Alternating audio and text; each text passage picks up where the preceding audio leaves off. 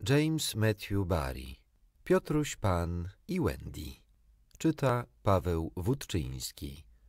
Rozdział drugi. Cień. Pani Darling krzyknęła i w tym momencie, jakby w odpowiedzi otwarły się drzwi i weszła Nana, która właśnie wróciła z wychodnego. Zawarczała i rzuciła się na chłopca, który lekko wyskoczył przez okno. Pani Darling krzyknęła ponownie, tym razem z obawy o chłopca, który, jak sądziła, zabił się. Zbiegła na ulicę, by odnaleźć jego ciało, ale nie było go tam. A gdy popatrzyła w górę, zobaczyła tylko wśród ciemnej nocy coś, co, jak pomyślała, musiało być spadającą gwiazdą. Wróciła do dziecinnego pokoju i zobaczyła, że Nana trzyma coś w pysku. Był to, jak się okazało, cień chłopca. Kiedy skoczył do okna, Nana szybko je zamknęła. Nie zdołała wprawdzie złapać chłopca, ale jego cień nie zdążył się wydostać. Zatrzaśnięte okno odcięło mu drogę ucieczki. Możecie być pewni, że pani Darling zbadała cień uważnie. Okazało się jednak, że jest to cień całkiem pospolity. Nana nie miała wątpliwości, co należy zrobić z tym cieniem. Wywiesiła go za oknem, co miało oznaczać, chłopiec na pewno po niego wróci. Umieścimy go tam, gdzie łatwo go znajdzie, nie zakłócając spokoju dzieci. Niestety, pani Darling nie zgodziła się, by go wywiesić za oknem, gdyż wyglądał jak kawałek rozwieszanego prania i byłoby w bardzo złym guście mieć pranie wywieszone od strony ulicy. Pomyślała, że pokaże go panu Darling. Ale pan Darling był właśnie zajęty sumowaniem wydatków na zimowe ubranka dla Johna i Michaela, mając głowę obwiązaną mokrym ręcznikiem dla zachowania przejrzystości umysłu. Nie wypadało go więc niepokoić. Poza tym doskonale wiedziała, że powiedziałby tak się dzieje wówczas, gdy niańką jest pies. Postanowiła więc zwinąć cień i ostrożnie schować go do szuflady, aż nadarzy się okazja, by wspomnieć o nim mężowi. Och, byłabym zapomniała. Okazja taka nadarzyła się tydzień później, w pewien niezapomniany piątek, bo to oczywiście musiało stać się w piątek. Powinnam była być szczególnie ostrożna, bo to był przecież piątek, mawiała potem do męża pani Darling, a Nana siedziała z drugiej strony i trzymała ją za rękę. Nie, nie, odpowiadał zawsze pan Darling. To ja jestem za wszystko odpowiedzialny. Ja, George Darling, jestem temu winny. Mea culpa, mea culpa. Miał klasyczne wykształcenie. Siadywali tak co wieczór, wspominając ów fatalny piątek, aż każdy jego szczegół odbił się w ich umysłach i przebijał na drugą stronę jak twarz na złych monetach. Gdybym tylko nie przyjęła zaproszenia na kolację do tego domu pod numerem dwudziestym siódmym, mówiła pani Darling. Gdybym tylko nie wlał swojego lekarstwa niani do miski, mówił pan Darling. Gdybym tylko nie udawała, że to lekarstwo mi smakuje, mówiły wilgotne oczy Nany. To przez moje zamiłowanie do przyjęć, George. To przez moje nieszczęsne poczucie humoru, kochanie. To przez moją drażliwość na błahostki, drodzy moi państwo. Potem jedno z nich, albo i wszyscy, całkowicie się rozklejali. Nana rozklejała się na myśl, to prawda, to prawda, oni nie powinni mieć psiej niańki. I często sam pan Darling ocierał jej łzy chusteczką. Ten szatan, wołał pan Darling, a Nana zdawała się szczekać to samo. Ale pani Darling nigdy nie mówiła źle o Piotrusiu. W prawym kąciku jej ust było coś, co nie pozwalało jej obrzucać go wyzwiskami. Siadywali w pustym pokoju dziecinnym, rozpamiętując każdy, nawet najmniejszy szczegół tego strasznego wieczoru. Zaczął się on tak zwyczajnie, jak sto innych wieczorów. Nana napuściła wody na kąpiel Michaela i zaniosła go na grzbiecie do łazienki. — Nie pójdę do łóżka! — krzyczał Michael, jak ktoś, kto wciąż wierzy, że ma w tej kwestii ostatnie słowo. — Nie pójdę, nie pójdę, Nano. Nie ma jeszcze szóstej. Ojej, bo nie będę cię już lubił. No mówię ci, że nie dam się wykąpać, nie dam, nie dam. Potem weszła pani Darling, ubrana w białą suknię wieczorową. Ubrała się nieco wcześniej, bo Wendy tak bardzo lubiła, gdy mama miała na sobie suknię wieczorową i naszyjnik, który dostała od George'a. Miała też na ręce bransoletkę Wendy. Przedtem poprosiła o jej pożyczenie. Wendy tak bardzo lubiła pożyczać mamie swoją bransoletkę. Zastała dwoje swych starszych dzieci bawiących się w nią i jej męża po urodzeniu Wendy. John mówił, Pani Darling, miło mi cię poinformować, że właśnie zostałaś matką. Mówił to takim tonem, jakim mógłby to powiedzieć prawdziwy pan Darling. Wendy zaczęła tańczyć z radości tak samo, jak mogła to robić sama pani Darling. Potem urodził się John, z dodatkową pompą, której, jak sądził, wymagają narodziny chłopca. A Michael wrócił z kąpieli i zapytał, czy też mógłby się urodzić, ale John brutalnie odpowiedział, że nie chce mieć już więcej dzieci. Michael był bliski płaczu. Nikt mnie nie chce, powiedział, a pani w wieczorowej sukni oczywiście nie mogła tego znieść. Ja chcę, powiedziała. Bardzo bym chciała mieć trzecie dziecko. Chłopczyka czy dziewczynkę? zapytał niepewnie Michael. Chłopczyka. Wtedy rzucił się w jej ramiona. Było to zdarzenie dość błahe, by je teraz pan Darling, pani Darling i Nana mieli wspominać, ale nie było ono tak znów błahe, skoro ten wieczór miał się okazać ostatnim wieczorem Michaela w pokoju dziecinnym. Wspominali dalej. I to właśnie wtedy wpadłem do pokoju jak burza, prawda? Mawiał pan Darling, szydząc z samego siebie. Rzeczywiście wpadł wówczas jak burza. Być może udałoby się znaleźć dla niego jakieś wytłumaczenie. On także ubierał się na przyjęcie i szło mu całkiem dobrze do czasu, gdy dotarł do krawata. Bo musimy tu wyznać rzecz zdumiewającą. Ów człowiek znał się, jak sądził, na akcjach i obligacjach, ale nie umiał sobie poradzić z własnym krawatem. Czasem przedmiot ten poddawał mu się bez walki, ale były takie momenty, kiedy dla całego domu byłoby lepiej, gdyby pan Darling przemógł swoją dumę i włożył krawat uprzednio zawiązany. To był właśnie taki moment.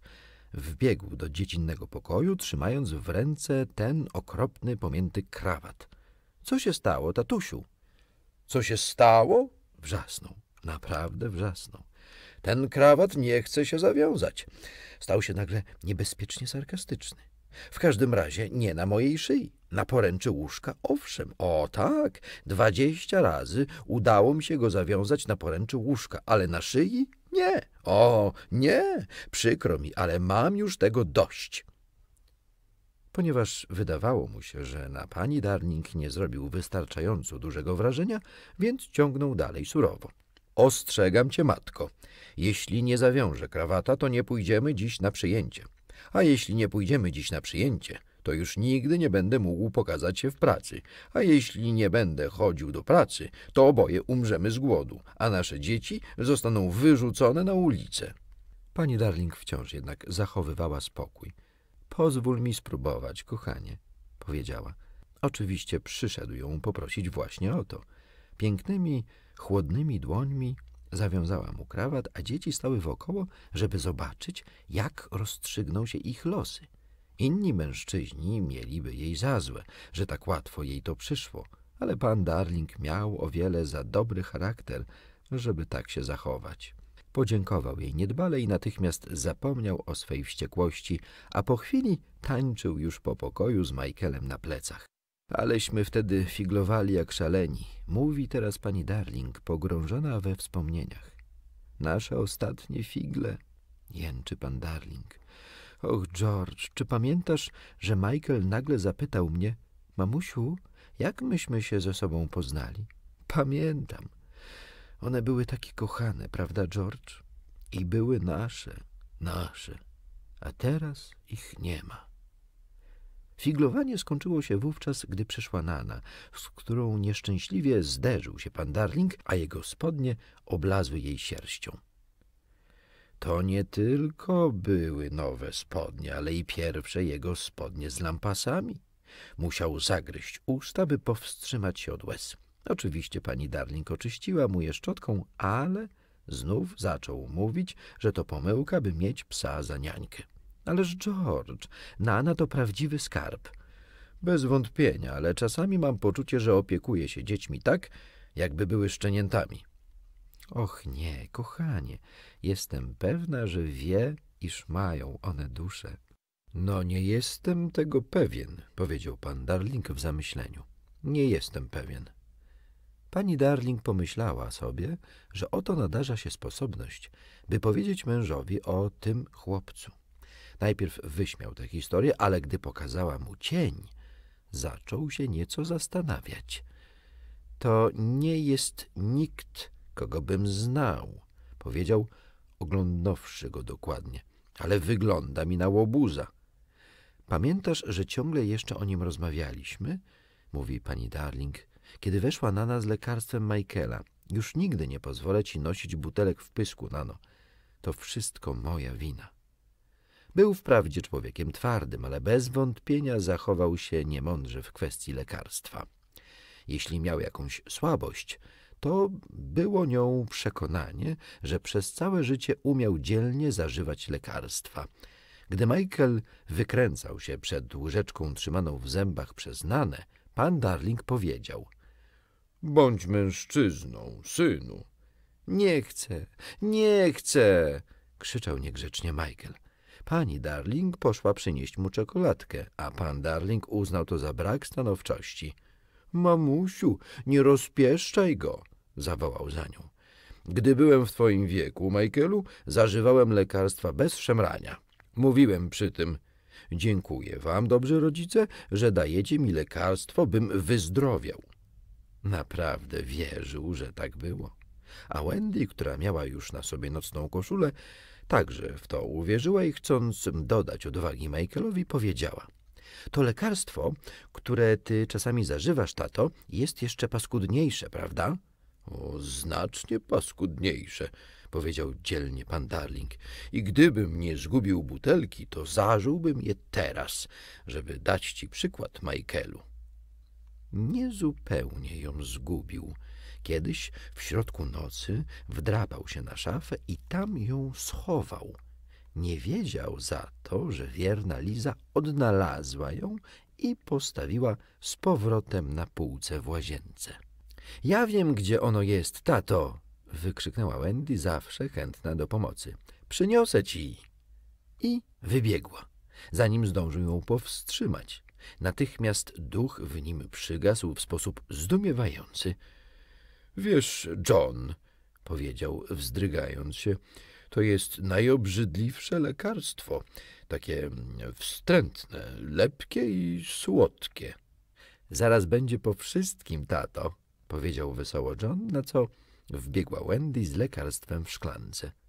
Uwinęłam się najszybciej, jak potrafiłam, wysapała. Twoja szybkość graniczy z cudem, odparł ojciec z jadowitą uprzejmością, której zupełnie nie dostrzegła. Michael pierwszy, powiedział stanowczo. Tata pierwszy, powiedział Michael, który miał podejrzliwą naturę. Wiecie, że może mi się po tym zrobić niedobrze, zagroził ojciec. No, dalej, tato, powiedział John. Nie mów do mnie w ten sposób, krzyknął ojciec. Wendy była dość zdumiona. Myślałam, że z łatwością je połykasz, tato. Nie o to chodzi, odparł. Chodzi o to, że w mojej szklance jest więcej niż na łyżce Michaela. Jego dumne serce w tej chwili mało nie pękło. A to nie fair. Nawet gdyby to miały być moje ostatnie słowa, powtórzę. To nie fair. Tato, ja czekam, powiedział chłodno Michael. Łatwo ci powiedzieć, że czekasz. Ja też czekam. Tata się trzęsie jak galareta. Sam się trzęsiesz jak galareta. Ja się nie boję. Ja też się nie boję. No to wypij. No to, no to ty wypij. Wendy wpadła na świetny pomysł. Może wypijecie obaj równocześnie. Oczywiście, powiedział pan Darling. Jesteś gotowy, Michael? Wendy powiedziała więc raz, dwa, trzy i Michael wypił swoje lekarstwo, ale pan Darling schował swoje za siebie. Michael wydał z siebie ryk wściekłości. Och, tato! krzyknęła Wendy. Co miało znaczyć to twoje och, tato? spytał pan Darling. A ty, Michael, przestań się awanturować. Już miałem je wypić, ale... ale nie trafiłem. Wszyscy troje patrzyli na niego w sposób straszliwy, zupełnie tak, jakby go nie podziwiali. Posłuchajcie, powiedział błagalnie, gdy tylko Nana poszła do łazienki. Właśnie przyszedł mi do głowy świetny żart naleje swoje lekarstwo do miski Nany, a ona je wypije, myśląc, że to mleko. Rzeczywiście miało kolor mleka, ale dzieci nie miały takiego poczucia humoru jak ich ojciec, więc patrzyły na niego z wyrzutem, gdy wylewał lekarstwo do miski Nany. Ależ to będzie zabawne, powiedział niepewnie, a dzieci bały się go wydać, gdy do pokoju wróciła pani Darnik i Nana. Nana, dobry pies, powiedział poklepując ją, wlałem ci trochę mleka do miski. Nana zamachała ogonem, pobiegła do miski i zaczęła z niej chłeptać lekarstwo, a potem spojrzała na pana Darlinga. W jej oczach nie było złości, tylko wielkie czerwone łzy, takie, które powodują, że współczujemy szlachetnym psiom naturom. Zawlokła się do budy. Pan Darling okropnie się wstydził za siebie, ale nie chciał dać za wygraną. W straszliwym milczeniu pani Darling powąchała miskę. Och, George, powiedziała, przecież to twoje lekarstwo. To był tylko żart, wrzasnął, gdy pani Darling pocieszała chłopców, a Wendy przytulała Nanę. I co mi z tego, rzekł gorzko, że z całych sił staram się być zabawny w tym domu? Wendy wciąż przytulała Nanę. No tak, krzyknął. Rozpieszcza ją. Mnie to nikt nie rozpieszcza. Oczywiście, że nie. Jestem jedynym żywicielem tej rodziny, więc po co mnie rozpieszczać? No po co? Po co? George, zaczęła go błagać pani Darling, nie tak głośno. Służba może usłyszeć. Państwo Darling jakoś zaczęli nazywać Lizę służbą. Niech słyszą, odparł lekkomyślnie. Niech cały świat słyszy. Ale nie życzę sobie, by ten pies choćby i godzinę dłużej rządził w moim dziecinnym pokoju. Dzieci zaczęły płakać, a Nana pobiegła do niego błagalnie, ale odpędził ją. Znów poczuł się silnym mężczyzną. George, George, wyszeptała pani Darling, pamiętaj, co ci mówiłam o tym chłopcu. Niestety nie chciał słuchać. Był zdecydowany pokazać, kto tu jest panem, a gdy nie udało mu się wyciągnąć Nany z budy rozkazami, wywabił ją stamtąd słodkimi słówkami, a potem schwycił szorstko i wywlókł z dziecinnego pokoju. Wstyd mu było za siebie okropnie, ale jednak to zrobił. Wszystko przez jego zbyt uczuciową naturę, tęskniącą za podziwem. Ten wyrodny ojciec przywiązał Nanę na podwórku i usiadł w korytarzu, kryjąc twarz w dłoniach. Tymczasem pani Darling położyła dzieci do łóżek w niespotykanej ciszy. Zapaliła im lampki nocne. Usłyszeli szczekanie Nany i John powiedział, pochlipując. To dlatego, że ją przywiązuje na podwórku. Ale Wendy była mądrzejsza. Nana tak nie szczeka, gdy jest nieszczęśliwa powiedziała, jakby domyślając się tego, co się miało wydarzyć. Ona tak szczeka, jak wyczuje niebezpieczeństwo. Niebezpieczeństwo. Jesteś pewna, Wendy? O, tak. Pani Darling zadrżała i podeszła do okna. Było solidnie zamknięte. Wyjrzała. Niebo było obsypane gwiazdami. Cały ich rój wisiał nad domem, jakby ciekawiło je, co się tu ma wydarzyć nie zwróciła na to uwagi ani na to, że jedna czy dwie mniejsze gwiazdki mrugnęły do niej. Jednak nieokreślony lęk chwycił ją za serce. Och, jak bardzo bym chciała nie iść dzisiaj na to przyjęcie! wykrzyknęła. Nawet na wpół już śpiący Michael wyczuł, że jest zaniepokojona i spytał. Mamo, czy coś może zrobić nam krzywdę, kiedy palą się nocne lampki? Nic, mój skarbie, odpowiedziała. Te lampki to są takie oczy, które zostawia tutaj mama, żeby pilnowały dzieci. Podchodziła kolejno do wszystkich łóżek, śpiewając nad nimi zaklęcia, a mały Michael objął ją rączkami. — Mamo! — zawołał. — Jestem z ciebie zadowolony. Były to jego ostatnie słowa, bo przez długi czas miała go w ogóle nie słyszeć. Dom pod numerem 27 stoi tylko kilkadziesiąt metrów od ich domu. Spadł właśnie lekki śnieg, więc tata i mama Darling uważnie stawiali kroki, by nie pobrudzić sobie butów. Byli w tym momencie ostatnimi przechodniami wszystkie gwiazdy na nich patrzyły. Gwiazdy są piękne, ale nie mogą w niczym uczestniczyć. Wiecznie muszą się tylko przyglądać. To jest kara nałożona na nie za coś, co zrobiły tak dawno, że żadna gwiazda nie wie już, co to było. Starsze gwiazdy patrzą już więc tylko szklanym wzrokiem i z rzadka coś mówią. Mową gwiazd jest mruganie, ale te malutkie wciąż jeszcze są ciekawskie. Nie żywią one przyjaznych uczuć do Piotrusia, który ma taki mm, prosty zwyczaj, że podkrada się do nich od tyłu i próbuje, czy uda mu się którąś zmuchnąć. Ale uwielbiają zabawę, więc tej nocy były po stronie Piotrusia i bardzo zależało im na tym, by dorośli nie stali mu na przeszkodzie. Więc jak tylko drzwi domu pod numerem 27 zamknęły się za panem i panią Darling, na niebie zrobiło się poruszenie, a najmniejsza ze wszystkich gwiazdek drogi mlecznej krzyknęła: Piotrusiu, teraz!